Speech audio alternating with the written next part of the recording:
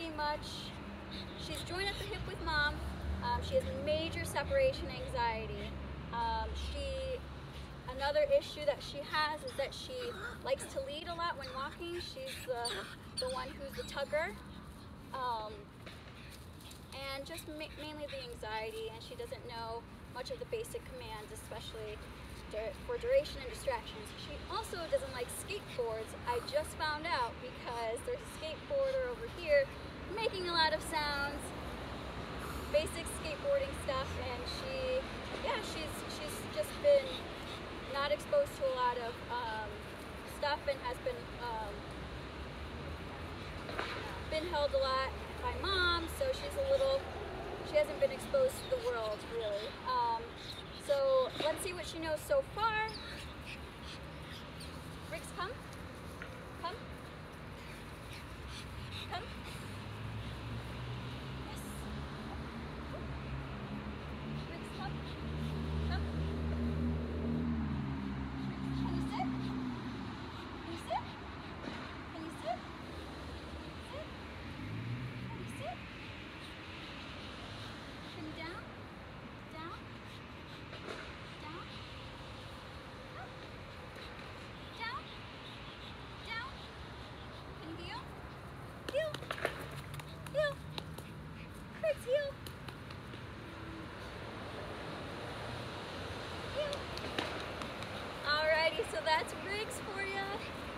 Before the two weeks, let's see what she knows. In two weeks, she'll be a lot more focused, a lot more able to know her commands. Alright? See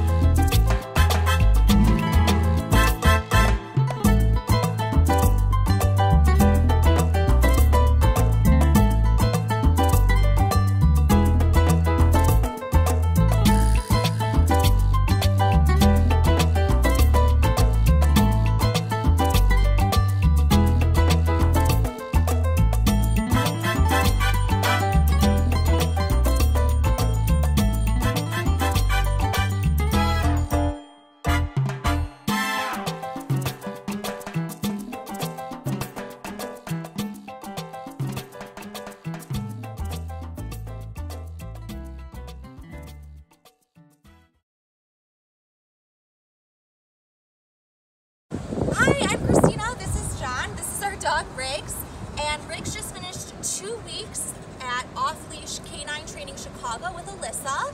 Um, she did the board and train. When we first dropped her off, she had severe anxiety issues. She also never listened to us.